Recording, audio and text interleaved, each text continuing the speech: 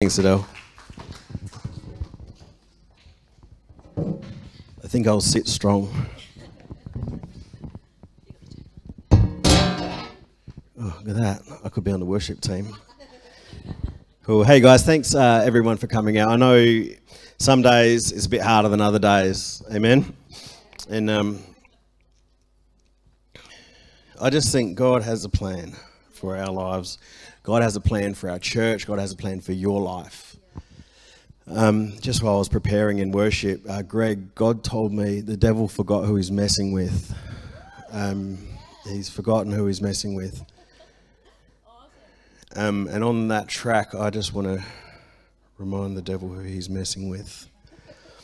Um, yeah, I've had one of them weeks, one of them little bits actually, a bit longer than a week. Melissa sends her apologies and her love. She's at home. Tiffany has got pneumonia, so she's at home with pneumonia. She's in hospital yesterday, and just praise God. And just sometimes the devil just gets you angry. And my plan is just to bust him up. So, well, the scripture actually says that we overcome by the blood of the Lamb and the word of our testimony. So I'm going to sort of take it from that angle. And um, the series we're speaking about this week is called Empower. And our goal, really, with this series is to help you guys step into what God has for you. We believe that everybody has a, that God has a plan and a purpose for every single life, uh, and that uh, through your life, uh, you God has a plan to impact your community, and we also believe that every single person has been connected by God into the local church, and that each person is a part of the body of Christ, which is the church, and that as much as we have a, we all have a function in the church, and we have a plan and a destiny for our lives, uh, extending from that. So our goal with this series is to really help you guys discover and walk in what God has for you. And Pastor Adele spoke amazingly last week. And um, my, my real takeaway from her message, who knows what she actually spoke about? I, I, I'm the sort of person like you.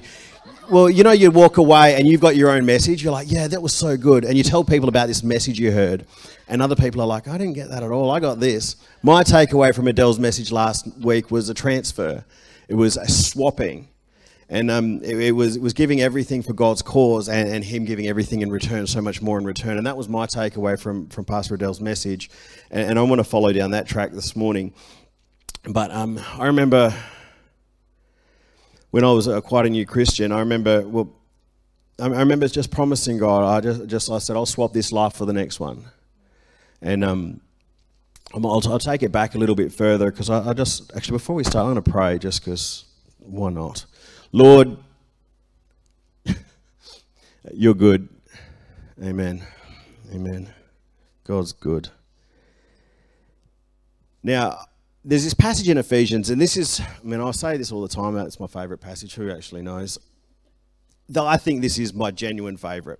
Ephesians chapter 3 and verse 20. I know every, it's all good. It's all good. It, this whole book, it's all good. You should read it. It's good.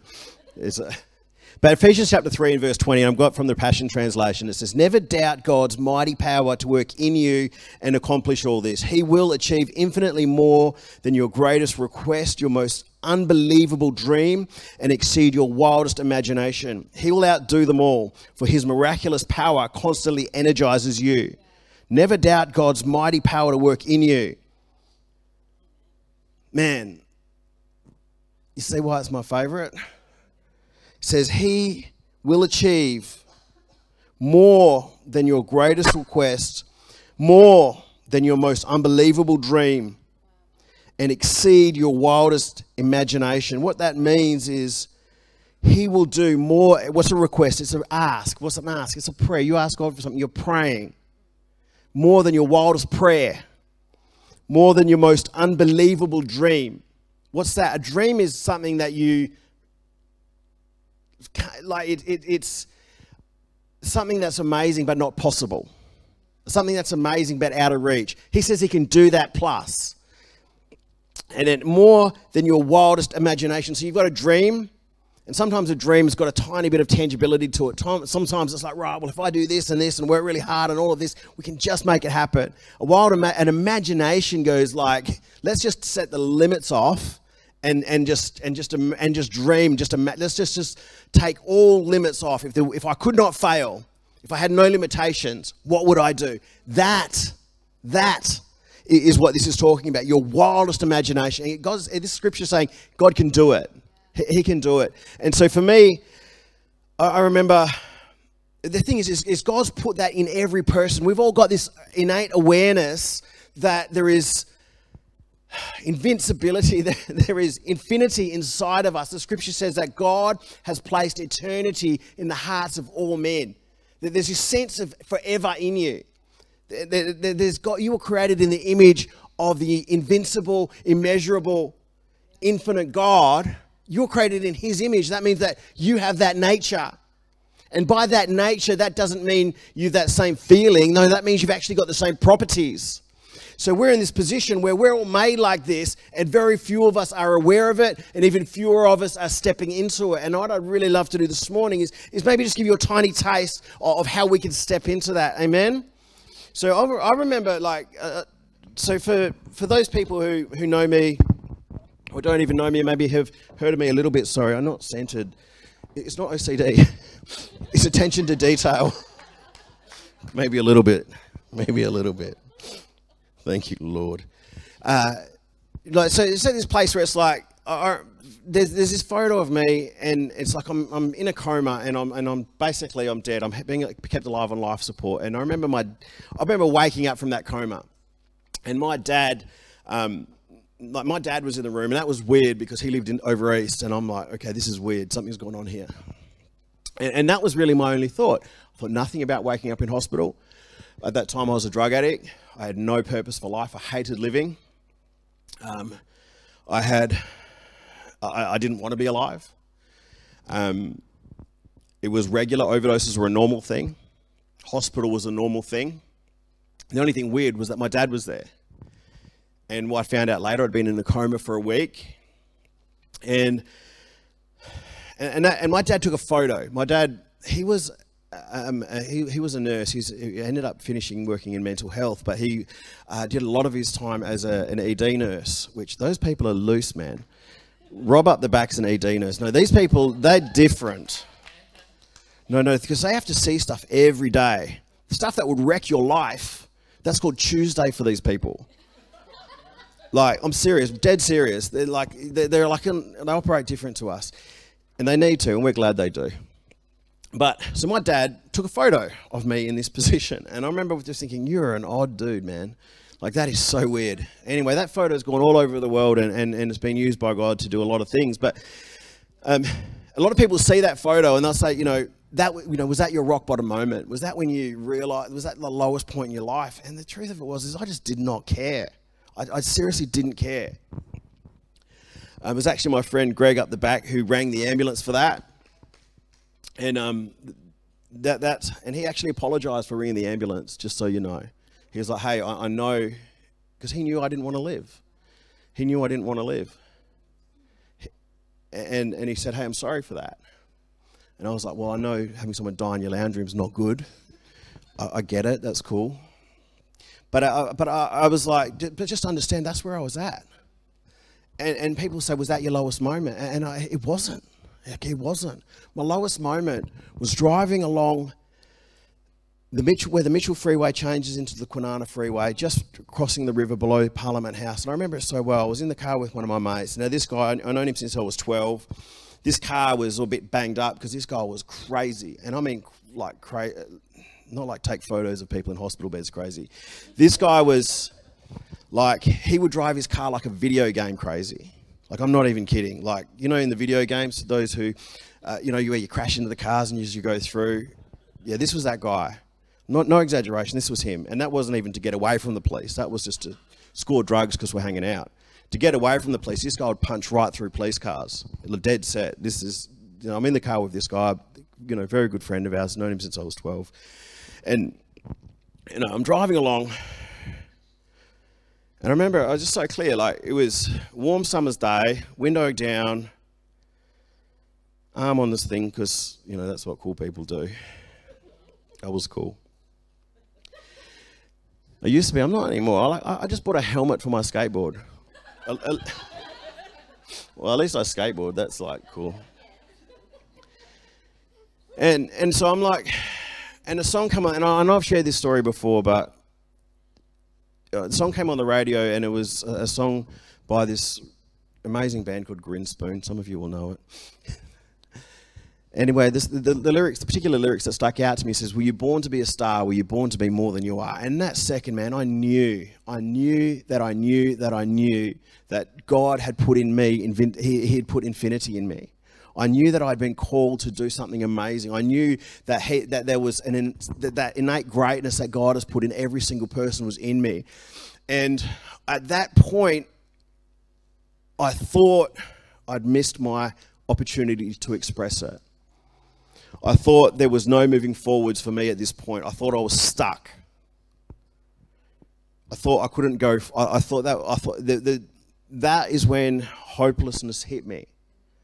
That is when I just I had no. There was no recourse.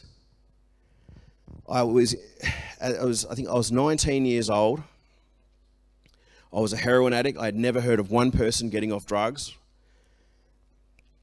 Um, and I, I, just figured this was my life. I, I figured this was my life. And I remember those words. It was, Are you born to be a star? Are you born to be more than you are? Are you born to be more than you are? And I just remember I was sitting and, and I knew I was. I knew I was. And I was stuck in this seat, going to score heroin from the other side of the river so I could feel good for a few hours. And who knows what I did to get the money? Who knows what we are doing to get there? All of these things just to feel good. And I just was, that was my lowest point. That was my rock bottom moment. You know, praise God, that guy, he, um, through my life and my testimony, my witness, he was able to actually come to Christ and he's turned his life around and um, is unrecognizable now. The guy who brought me into that scene, he um, was best friends with that guy. He uh, was the sort that used to carry a gun around. That was him. He did fair bit of jail. Um, he got saved in jail, radically encountered Jesus in prison. He, he started to be like a full on, like, he, he, you know, the run the prison Joseph story. This was like this. He would just get amazing opportunity. Instead of taking the highest position, though, in the prison, he took the position where he would deal with the newcomers. And him and another friend of mine, who was in pri- a guy, another guy I grew up with, who was in prison for trafficking, um, they would put together new people packs. You know, we have new. They would put together new people packs for jail, and help people come. and they turned their prison into a ministry. And these, anyway, this guy, he did his time, uh, came out, and then uh, started started just serving at his local church. And I remember one time he rang up, um, and I had him on speaker, and um, I was he, he, rang up. And um, he's just saying, "Hey man, I'm I'm pretty. I'm, I'm in a jam here, I, and it wasn't like bad things are happening. A lot of things, good things are happening.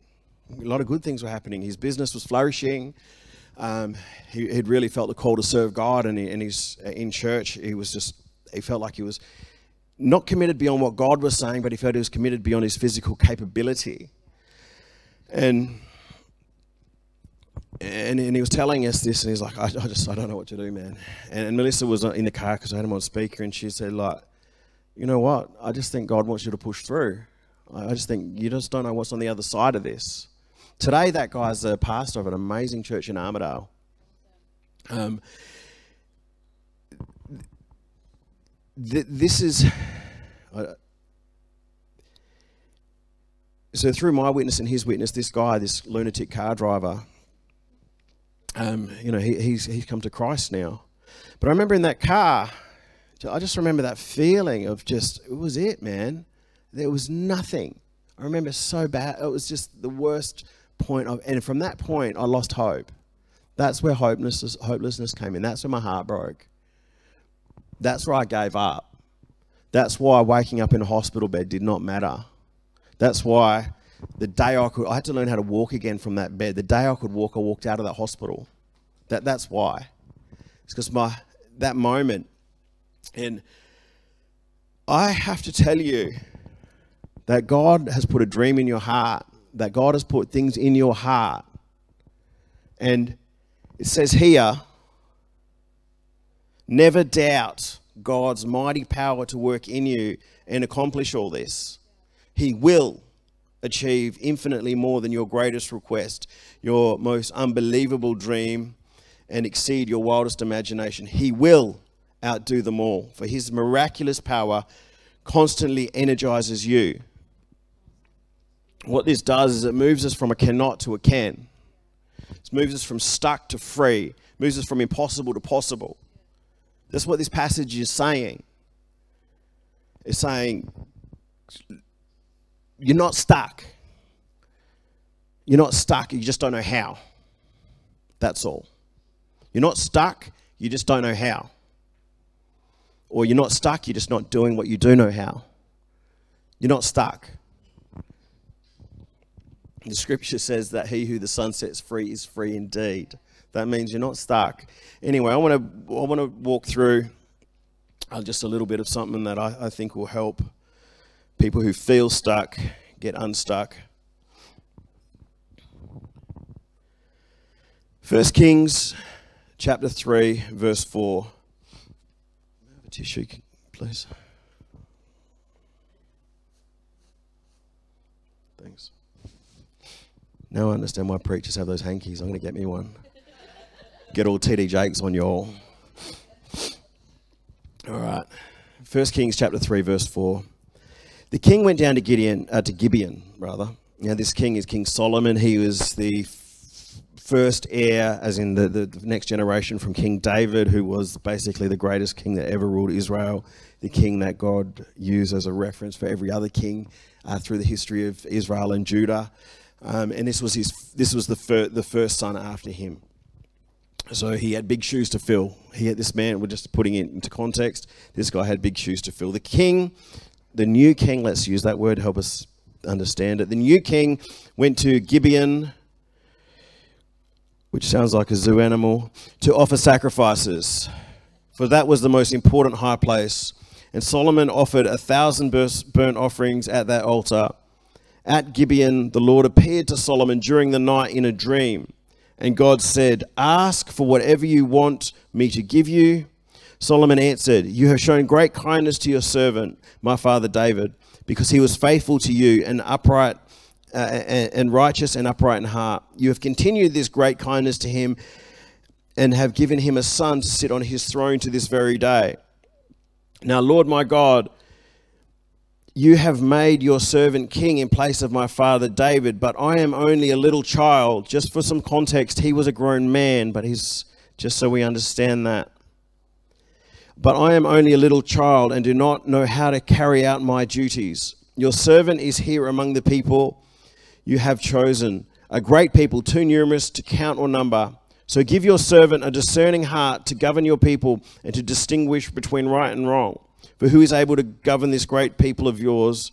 The Lord was pleased that Solomon had asked for this, so God said to him, Since you have asked for this, not long life or wealth in, uh, for yourself, nor have you asked for the death of your enemies, but for discernment in administering justice, I will do what you asked. I will give you a wise and discerning heart, so there will never be anyone like you, nor, uh, moreover, I will give you what you have not asked, both, both wealth and honor, or so nor will they ever be. Moreover, I will give you what you have not asked for, both wealth and honor, so that in your lifetime there will be no equal among kings. You will have no equal among kings. And if you walk in obedience to me, keep my decrees and commands, as David your father did, I will give you a long life. Then Solomon awoke and he realized it had been a dream. Talk about a genie in a bottle moment. Talk about a genie in a bottle moment. I love those genie movies, man. You rub them and the genie pops out and they're like, I give you three wishes. And if you're like, you know, the Aladdin, remember Aladdin?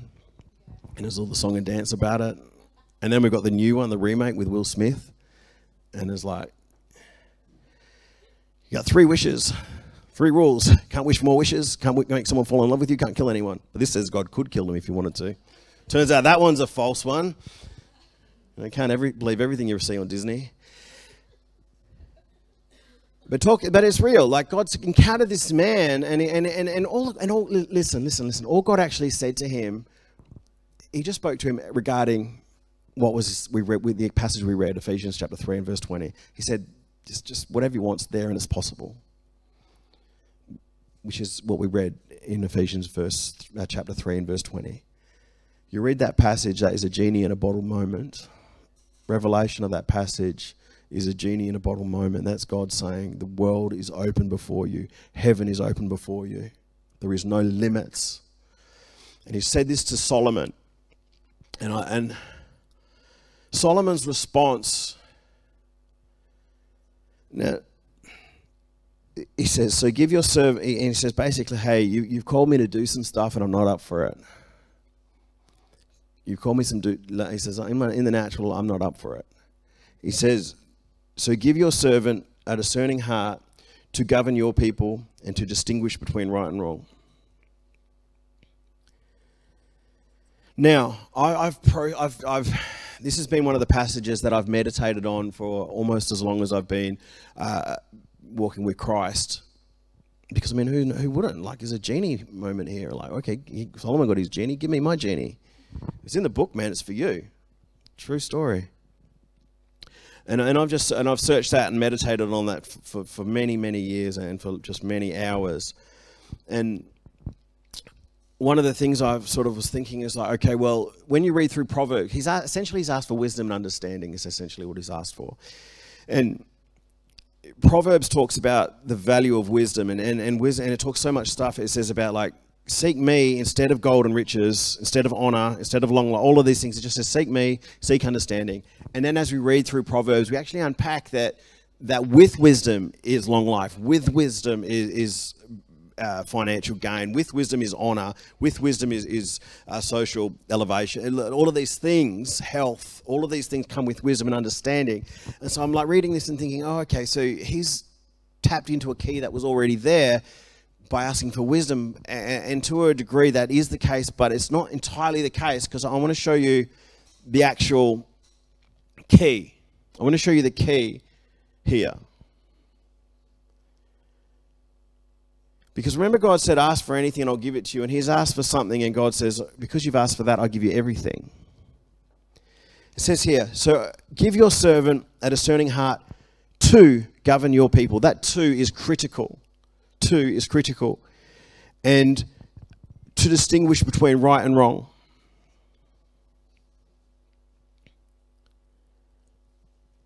He's asked for something for a purpose. He's asked for something for the purpose of pursuing his call. What he said is, God, God says you can have anything. And what he says is, God, I want to be able to fulfill the call of my life. I want to be able to, to fulfill the call of my life. This thing you put in me, I, I need to go after that. And God says, bang, right answer. Right answer. So we're at this point where most of us, pretty much everybody, and especially in our, our society, you know, we're in a first world country, our basic needs are generally met you know, there's a principle called Maslow's hierarchy of need where food and shelter and protection, these basic things. And then as you go up the chain, we, we come to this place of when we're in this world of comfort, which we are in the, in the first world, we have this thing where we, we they, they've got all highfalutin words about actualization and um, you know different things, but but essentially it's this point where you you know you're meant for more you know you're meant for more. You know it. You're not satisfied with living on the couch, chewing Smith's chips, drinking your chosen beverage, waiting for the next day. It just doesn't work for you. And, and Solomon, he was king. He, he could have sat back and rested. He could have. But, but he wasn't content to do that. And I think most of us aren't content to do that. You know why? Because God won't let you be. You get everything you want and you're miserable. You're like, what? I've got this great job, I've got these great kids, I've got this great home, I got everything, and I'm miserable. And then, and one of the reasons why I think we've got this massive division going on in our culture is because you've got so many people who have everything they want and they still need a cause. They still need a cause. So they look for whatever will offend them to give them a cause. That's what it's about. People looking for a cause because they're not answering the call of the cause that God's put in their heart. So, what I really want us to get is what Solomon got. God says, You can have anything. And he says, God, I want to answer the call of my life. I want to answer the call of my life. Now, easier said than done. But we have to get it from somewhere. I want to show us how we get there. Got a little bit of time left. Mark chapter 10 and verse 13. It says, The people were bringing little children to Jesus for him to show, to, to place his hands on them, but the disciples rebuked them. When Jesus saw this, he was indignant. He said to them, Let the little children come to me, and do not hinder them, for the kingdom of God um, belongs to such as these. Truly I tell you, anyone who will not receive uh, sorry, who will not receive the kingdom like a little child will never enter it. He took his arms, placed his hands on them, and blessed them. Very next verse, like in your Bibles, they got like these headings sometimes, and sometimes they can confuse things because it separates things that the, the author never meant to be separated. You know, in the Bible, in the original text, there isn't numbers, there isn't chapters, there isn't verses, and there most certainly isn't subheadings. They're convenient they're handy, but sometimes it can interrupt what the author's trying to say, what the Holy Spirit's trying to tell you through the passage. It just jumps straight down to this another story, well, the continuing story where there's a rich young ruler. He comes to Jesus and he's like, Jesus, well, like you're the best, you're the man. Uh, I'm also the man. I want to go to heaven. And Jesus is like, cool. Sell everything you've got, give it to the poor. Come and follow me. And then the scripture says that he, he, he walked away because he's very rich. He walked away sad because he was very rich. And I just, I, it just breaks my heart, that guy, you know? It just breaks my heart. And, and the passage goes on further, and, and all. Um, Peter, it says, at, at, at this, verse 22 says, At this the man's face fell. He went away sad because he had great wealth. Wouldn't you think great wealth would make you happy? Turns out it doesn't. He was sad because he had great wealth. Jesus looked around and said to his disciples, How hard it is for the rich to enter the kingdom of heaven. Peter spoke up. Peter always spoke up. I've got a kid like Peter. We have left everything to follow you. Truly I tell you, Jesus replied, no one who has left home or brothers or sisters or mother or father or children or fields for me and for the gospel will fail to receive a hundred times as much in this present age homes, brothers, sisters, mothers, children, and fields, along with persecutions. You don't go praying for that bit, do you? And in the age to come, eternal life. But many who are first will be last, and last first it's this amazing contrast where Jesus is saying to this guy, he started by talking to the kids. He started by saying, if you can't come to me and interact with me like these guys, interact with me like these little ones, you can't do it. It doesn't work. Then this guy who was, you know, big and elevated in the world standard comes to him. He's a good guy. This guy was a genuinely good person and says, Hey, I want to follow you. And Jesus is like, Okay, cool. Yeah, you just need to have nothing. And it doesn't mean you have to do this. This was Jesus' instruction to him.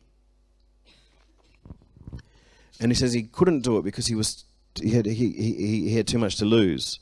And then Jesus' disciples like, whoa. But then they looked at themselves and thought, you know what, we've lost everything to follow you. We've lost everything to follow you. We've taken an unpopular route. We've walked away from our family businesses. We've probably offended our parents by leaving the family family business. We've embarrassed our parents by following some renegade preacher who's going against culture.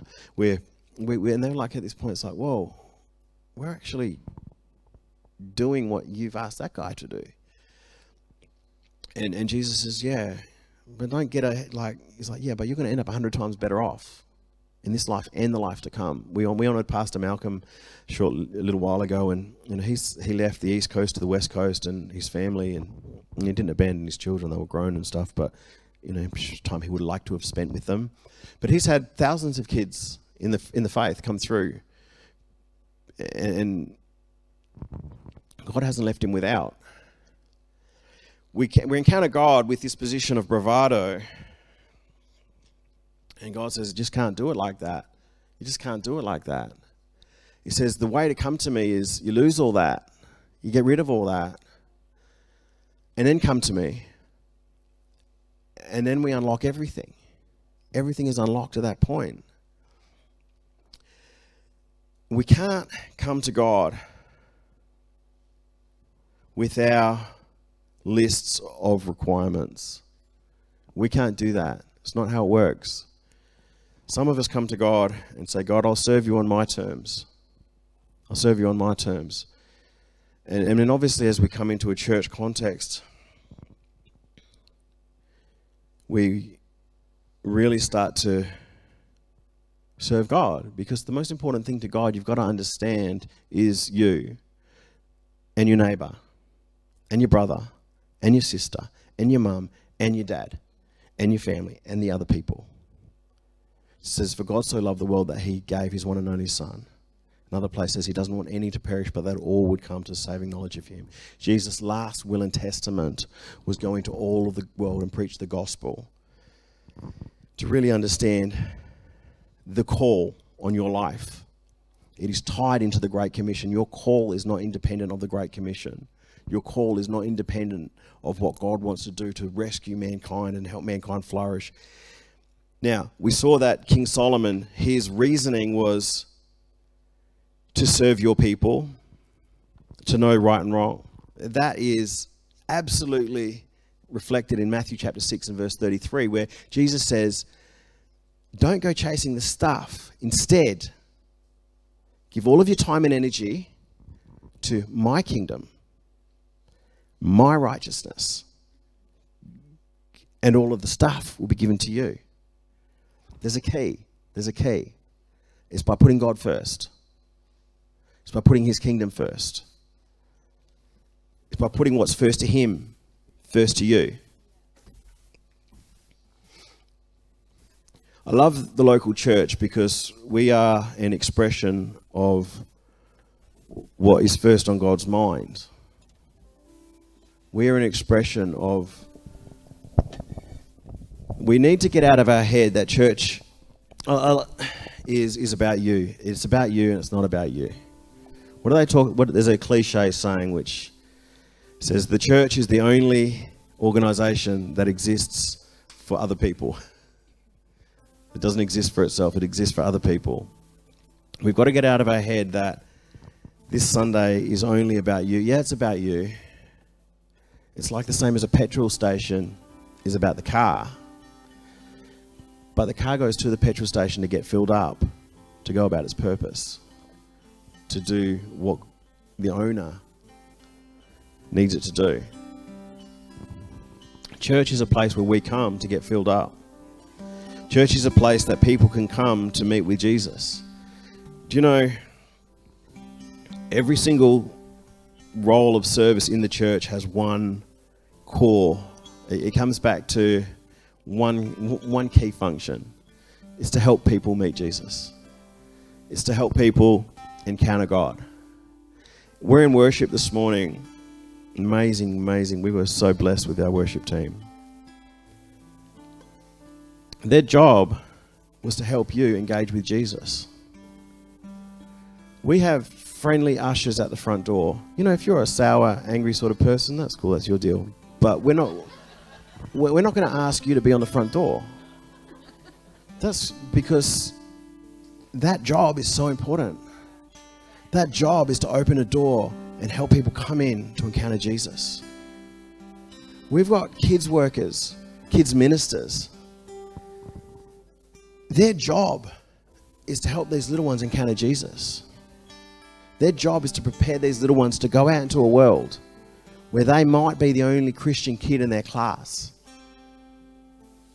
where they have to be able to navigate the temptations and the challenges in, in such a confusing world. My job as a preacher is to minister healing, is to bring the word of God in a way that's actionable. Uh, I figure if I if you leave and you can't do something I said, I wasted my time. The people up the back, you know, we serve good coffee. I think that Jesus would serve good coffee. We know that the wine he served was the best. He doesn't do rubbish. We serve good coffee. That's so when people come here. I'm very serious. That's so when people come here. There is nothing to interrupt them connecting with Jesus. It helps them know that they're cared about. It helps that extra work that goes into that is actually an expression of the love of Christ. The extra cost that goes into the nicer coffee is an expression of the love of Jesus Christ. We make things look as nice as we're able. That's so when people come in, nothing's interrupting them, nothing's distracting them as little as possible because we don't want anything to interfere with people connecting with Jesus. We do things well, as well as we're able, not because we're perfectionists. Some of us is a little bit OCD, but it's not about impressing people. It's, it's not about impressing people, it's about expressing the love of Jesus. So we have an opportunity in church to come, use the gifts that God's put in our lives to express the love of Christ. And when we do that, when Solomon prayed, he said, God, just help me to serve you. Help me to. God said, Yes, that's the answer I'm looking for. When we serve in church, we're, we're tapping into the heartbeat of God. And, and for most of us, church service isn't our key service. most of us, it's not. It's just a tiny bit of our week. But can I just, it's a really important part of our week. It's really critical. This is the point where people can come in. In Western Australia, the most people come to Christ is through coming into a church door. And I'm about to lead us in a prayer. And, and it's through actually responding to that prayer is, is how most people in Western Australia actually first take that commitment of faith. And I love the local church. I love it. I love the people in the local church. I love my city. And God has amazing things for your life, but I can promise you it does not get unlocked by going after them. The amazing things in God that God has for you get unlocked by going after Him. It's a paradox. I don't understand it. But you want fruit, you put bury a seed. Life, the kingdom is paradoxical. I'm going to pray. My time's up. Thank you, Jesus. I want to pray two prayers. The first is I want to I just want to activate people. Actually, I'm going to open up the altar afterwards. I'm going to pray for people. I just feel like God just wants to activate people. But before I pray and do that, I just want to speak to you. And if you have never made Jesus the Lord of your life, or maybe you have, and but you're far from Him now, and you just want to come home, I'm just going to pray, and I'm just going to ask that if that's you, just with every head bowed and every eye closed, you just would slip your hand in the air. No one's looking around. Even if you're in the lounge room watching this or listening in your car, just as a step of faith, just, just pop your hand in the air. And I just want you to repeat after me. Church, even if you're in faith, I just we're joining in with these people. Dear God, today I come home. Please forgive me for living life my own way. I want more than anything for your will in my life. from today forwards, I will follow you. In Jesus' name, amen. I'm just going to pray for us all right now. Lord, I just bless this congregation. I bless just everybody that's just within the sound of my voice. Lord, you know exactly where each and every person are at. You know the frustrations, the hopelessness, the disappointment, the heartbreak. I just feel like some people here just, God just said, there's someone here that's starting again from scratch. You literally have nothing. God just said, that's a good place to be.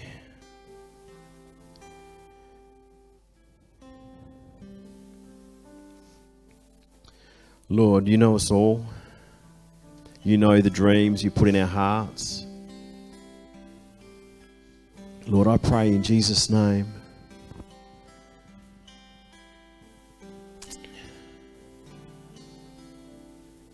We would be activated. We put you first. We need you, God. We believe that you have an amazing plan for our life. We commit, Lord, to fulfilling it in our lifetime. In Jesus' name. Amen. Amen. We're just going to worship a little bit, church, and I just want that to marinate. And just, if God spoke to you, man, just, just, just deal with it. Just interact with God on it. If anyone wants prayer for anything, for healing in their body, or if that word spoke to you particularly, and you just want just, just to come out and, and, and God will just, just do something with that word. We'd love to pray with you.